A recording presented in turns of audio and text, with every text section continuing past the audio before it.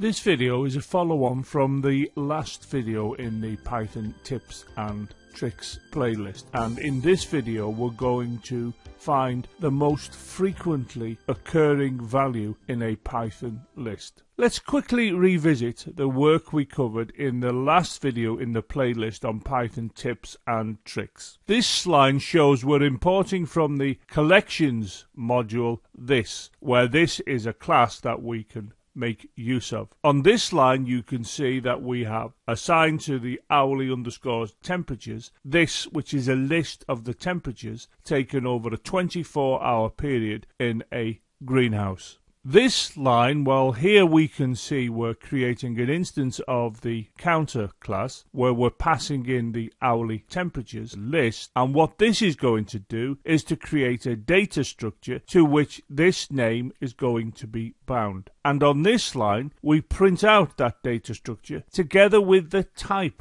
of the data structure. This shows the output from the program. This was output by this here, the frequencies is being output. And if we take a look at that, we can see that it is a data type of this class. In other words, the class has created a data type which if we have a look within it, we can see we have a dictionary. And the dictionary has one, two, three items. And if we consider the first item in the dictionary, which is this here, this is a key and this is a value. Remember, dictionaries are key value pairs. And what this item of the dictionary is telling us, it's saying that the temperature of 26, which appeared in the list, has occurred 14 times. This one is telling us that the key here, which is again a temperature in the list, has occurred 5 times. And likewise here, we can see that the temperature of 27 has appeared 5 times. Now this is what has been output due to this here and it's telling us the type of the data structure and we can see that the type is a class belonging to the collections module and it is of the counter class. Let's move on and consider this computer program, which is the same as the one we've just been considering with the addition of these two lines. Before I consider these program statements, I'd like us to return to this line where I created the instance of the list. Now, I have chosen values to go in this list that will ensure that at least one of the temperatures appeared the most often, and we saw that it was the temperature of 26, which appeared 14 times. Now, I'll come back back to why this is a relevant fact a little bit later in this video. Let's just remind ourselves what this statement did. It created an instance of this class, and that instance will be bound to this name. So if you come onto this line and look here, you can see that I'm using that name, which is bound to the instance created on this line, and I'm sending a message to it, and the message is going to invoke this method, which is a method which belongs to this class. What I mean by that, the method is defined in the class, but is now within the instance of the class. And this method here is going to return something for us. And this is the name that's going to be bound to what is returned. Now this line is going to print out the data structure that was created on this line together with the type of the data structure. So the output we will get is shown here. And if we consider this line, well, that's the line that was output by this line in the program, and we've discussed that on the previous slide. Now, this is the line that was output by this statement. And if we have a look at the data structure that is created, we can see it is here. And if we look at the output here, we can see that it is telling us that the type of what we've just output is of type list. In other words, this is a list and we can see that by the brackets that appear here. So this is an item of the list, this is, and this is. And if we consider the items, and let's consider this one first, it is an example of a tuple. It's a tuple data structure. And what we can see is we have effectively taken these key value pairs that appeared here and we have put them here as tuples. So in other words, we have effectively converted this data structure here, which was a specialized data structure that belonged to this class. It's what this class will give us. And we've converted it into a list, as you can see here. Now, as this is a list, we can look at each item in turn, and I'm going to look at this item, which is a tuple, as I've already said, but that's in position 0 within the list. This tuple is at position 1 within the list, and this tuple is at position 2 within the list. So we're talking about the indexes of the list here. This is at 0 index position, this is at 1 index position, and as I've already said, this is at 2 index position. Now, the program I've just considered, I've got here again, but now I've included this line. And what it is going to do, it's going to print from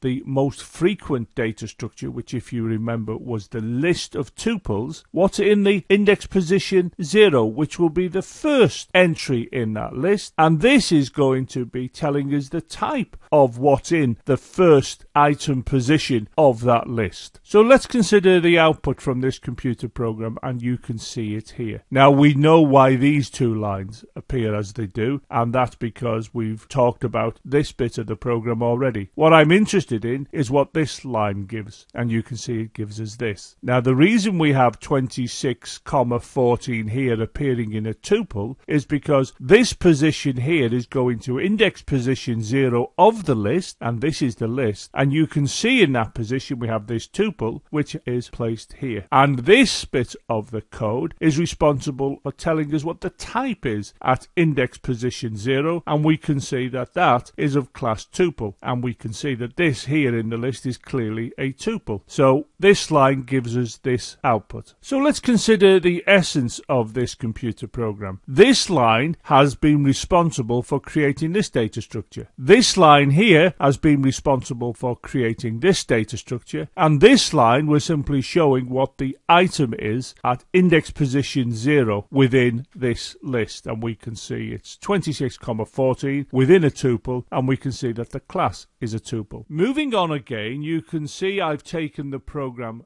described on the previous slide and I've added these two lines. And I'd like to look at this one first. And what you can see is we have on this side a reference to index position 0 within the list. And we know that that list contained a tuple that had 26 and 14 within it. And what this is doing, it's unpacking what is in the tuple at this index position and it's taking the first entry, which is 26, which we know represents the temperature appearing in the list here, and it's assigning that 26 to here. This will take the next number within that tuple, which we know to be 14. Now, this line is a print statement using the F string to output this literal string here, most frequent temperature is. This will place in this position in the output the temperature, which should be 26, and this will output occurring, and then in in this position we will output the frequency which will be 14 and then we output time. So if we look to the runtime we get this and of course we've already discussed these but we can now see that this line has been responsible for producing this. Most frequent temperature is 26 occurring 14 times.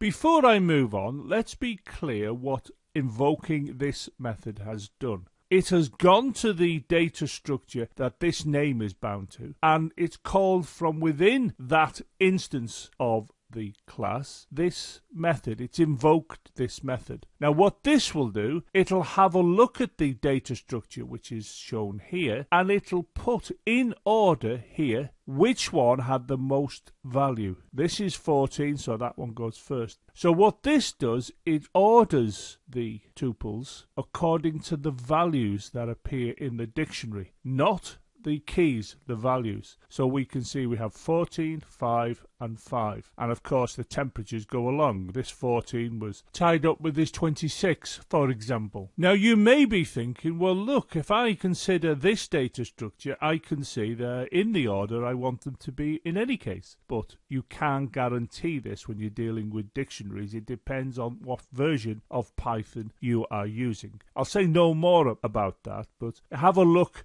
at dictionaries and how they order their values. To be on the safe side, put this in because this will ensure that it'll take the dictionary and put them in order of their values as can be seen within this list. You can see there's the 14, the 5 and the 5 and clearly the 14 has come first. So to summarize what we've done so far in this video, I've got the program here again with all of the print statements removed apart from the last one which will tell us what the most frequently occurring temperature is. And what we can observe is this is the list. Here what I'm doing I'm creating an instance of this class. On this line I'm messaging that instance and I'm getting this bound to a list and on this line I'm unpacking the first index position within that list which we know is a tuple and temperature will get the 26 in this case and the frequency will be 14 and of course this will then output 26 and 14 so when the program runs we would expect to see this. Most frequent temperature is 26 occurring 14 times and it looks like the code has worked for us. However, if you remember close to the beginning of this video I talked about me contriving these values here to ensure that one of them, in this case the 26, occurred more frequently. Let's consider the following slide. I've taken the computer program that I've just discussed and I've altered the makeup of the list. If you look to the list, you can see that I have 25 appearing 8 times, I have 26 appearing 8 times, and I have 27 appearing 8 times. So which one of the temperatures occurs most frequently? And the answer is all three. So if I run this program, what's it going to do? Well, this is the output and it tells us the most frequent temperature is 25 occurring 8 times. Well, that isn't 100% accurate, is it? It's one of the temperatures that occurs 8 times. So it's one of the most frequently occurring temperatures. In fact, they all occur in this case 8 times. Let's now consider this computer program where I've put all of the print statements back in so we can observe the output and discuss it. And if you come and look at the list, you can see I've altered that again. Here you can see I've got 25 appearing 8 times. I've got 26 appearing 8 times. And here you can see I've got 28 appearing 4 times and 27 appearing 4 times. So if I run this program, this is the output we're going to get. And you can see that this line was responsible for creating in the data structure that this line printed and we get this. So you can see we have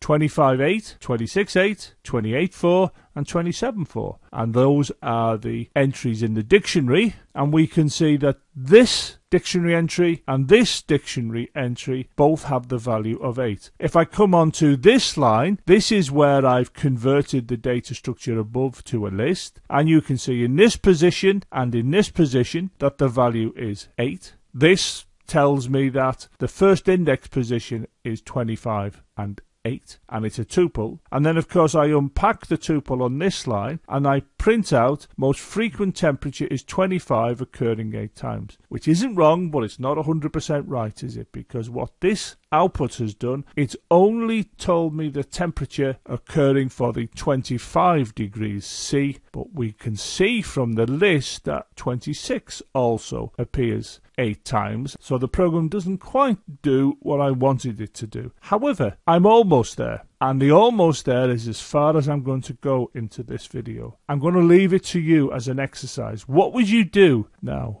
Because you can see there's two of the temperatures are the same occurrence in terms of how many times they appear in the list. You may want to now consider the fact that these two will definitely be next to each other in the list if there's two going to be the same and those two the same are the biggest, they will appear in this position and this position, as you can see. So you at least can say that those that will be the values of temperatures that occur the most will be in the positions this side of the list. So you might want to think of asking the question, well, I'll compare this value with this one, and if they're both the same, I'll compare this one with this. And if they're both the same, well, I'd have a problem. I've got three temperatures then that would be the same. But if you compare this with this and they're the same, then you need to make arrangements to output both of those. If you compare this with this and they're different as you can see here, then you needn't bother outputting this or this one or any other that might appear in a longer list.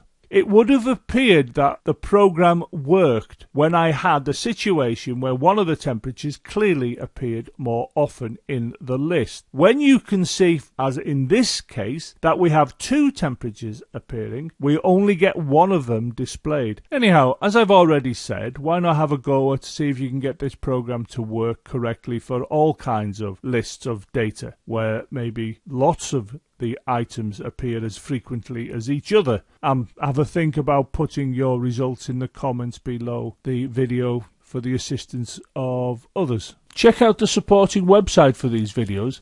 In addition, why not follow me on Twitter as I issue a tweet every time I upload a new video?